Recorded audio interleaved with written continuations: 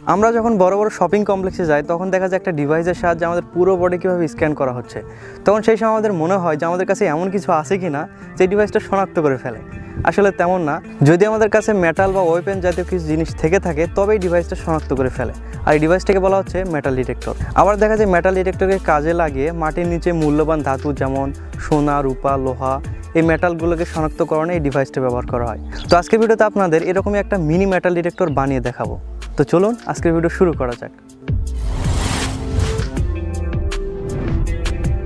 আমাদের এই metal detector কিটটি পাঠিয়েছে binary system online shop thanks binary system আমাদের এত সুন্দর একটি জিনিস পাঠানোর জন্য।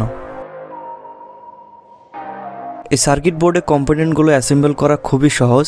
সার্কিট বোর্ডের গায়ে ক্লিয়ার ফুটপ্রিন্ট দেখে সহজে সাজিয়ে নিতে পারি এটিকে। প্রথমে বসাবো নাইন জিরো ওয়ান টু মডেলের দুটি ট্রানজিস্টর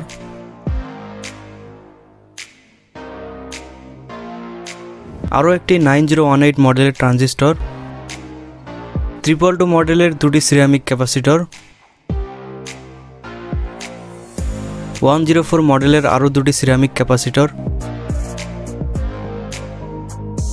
four seven zero ওহমের একটি রেজিস্টর। মূলত কালার কোড জানা থাকলে সহজে বের করতে পারি কোনটি কত ওহমের রেজিস্টর। এরপর টু হান্ড্রেড কে ওহমের একটি রেজিস্টর। দেন টু কে ওহমের একটি রেজিস্টার। একটি পটেনশিওমিটার একে ভেরিয়েবল রেজিস্টারও বলা হয়। একটি সেলফ লকিং সুইচ এরকম লাল বা সাদা যে কোনো ধরনের এলইডি ইন্ডিকেটর এতক্ষণ পর্যন্ত আমরা যে কম্পোনেন্টগুলো সার্কিট বোর্ডে বসিয়েছি, এগুলোতে পজিটিভ নেগেটিভের পার্থক্য খেয়াল করিনি, কিন্তু এখন থেকে এটা ভালোভাবে খেয়াল করতে হবে। এখন হান্ড্রেড মাইক্রোফ্যারাডের যে ক্যাপাসিটিটি বসাবো, এটাতে নেগেটিভ সাইন ইন্ডিকেট করে দেওয়া আছে। আর সার্কিট বোর্ডে নেগেটিভ চিহ্ন বোঝার জন্য এরকম একটি চিহ্ন দেওয়া আছে। এরপর একটি বিপার বা বাজার, এর পজিটিভ চিহ্ন সার্কিট বোর্ডের পজিটিভ চিহ্নের সাথে মিলিয়ে বসাতে হবে। এই বাজারের কাজই হচ্ছে মেটাল ডিটেক্ট করতে পারলে বিপ বিপ সাউন্ড করা। এরপর সবশেষে একটি ডিসি কানেক্টর।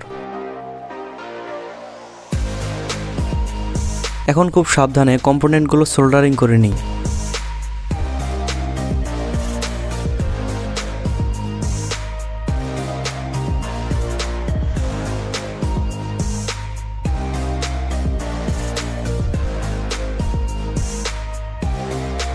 এবার প্রয়োজন হবে একটি পাওয়ার সোর্স এখানে আমি থ্রি পয়েন্ট সেভেন ভোল্টের একটি রিচার্জেবল লিথিয়াম ব্যাটারি ব্যবহার করছি।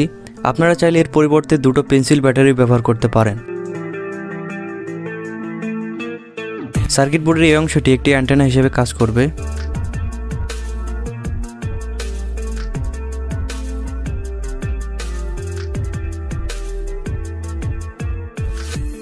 সার্কিট বোর্ডে পাওয়ার সাপ্লাই অন করার পর পটেনশিওমিটারকে এভাবে ঘুরিয়ে বিপ পর্যায়ের কাছাকাছি এটাকে সেট করে নিতে হবে।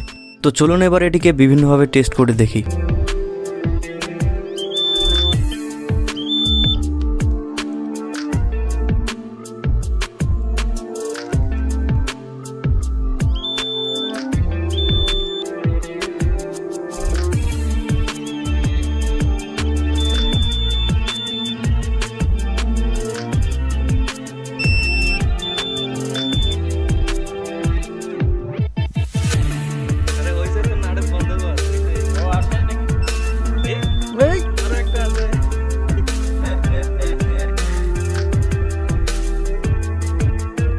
তো আপনারা চাইলে এটিকে এরকম পাইপের সাহায্যে আরও একটু কাস্টমাইজ করতে পারেন।